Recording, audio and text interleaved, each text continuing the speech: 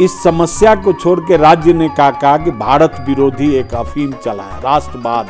आज ही समाचार आया है कि दवा लेके चली हुई गाड़ी के ऊपर भी पेट्रोल बम प्रहार किया गया। मैं कहता हूँ ये दुर्भाग्यपूर्ण है और जो लोग ये घटना किए हैं आइंदा नहीं करेंगे। धरना कहाँ करे? न शहर में करने दिया जा रहा है न रोड में करने दिया जा रहा है। तो हम लोग बॉर्डर में पहुँचे कि यह असह्य